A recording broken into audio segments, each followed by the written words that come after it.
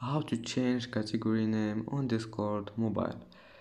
Hello guys in this video will show you how to change category name on discord mobile. First go to discord and then go to your server. This is my server. And now you need to click uh, hold on the category you want.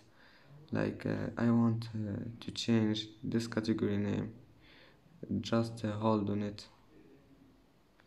And now uh, click uh, edit category.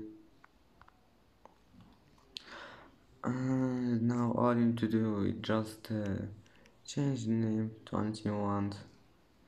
Like study. And just now just click this one. Save.